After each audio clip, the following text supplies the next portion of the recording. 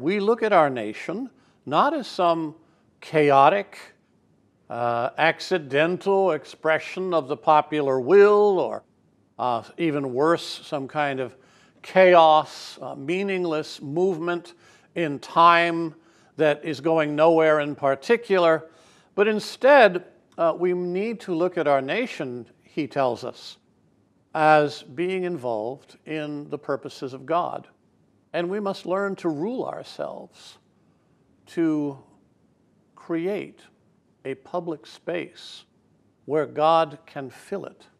Uh, not abortion, not perversity, not violence, not socialism, but God Himself.